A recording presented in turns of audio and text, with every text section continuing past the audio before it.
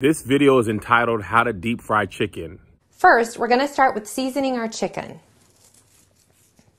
You're going to make sure your chicken is nice and seasoned. Next, we're going to dredge our chicken in flour. Why why would you even say seasoning if you're going to put a sprackle of salt on the chicken? How you going to get that big old leg, cuz, and then just, you did this. That's what you do when you've already seasoned it and you're just getting the rest of the salt off your hand. You didn't even bother to flip the leg. How you gonna season the middle of one side of the leg and then dredge? And then dredge.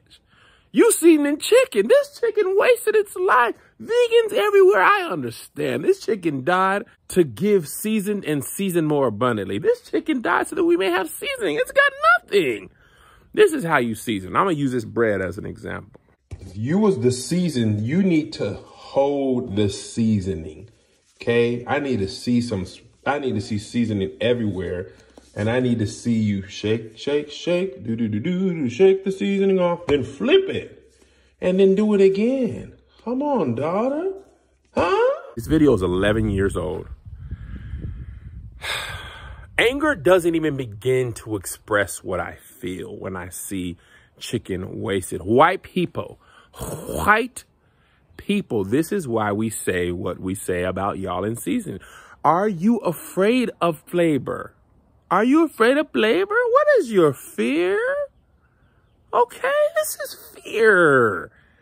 You're afraid of what it could taste like if it was good.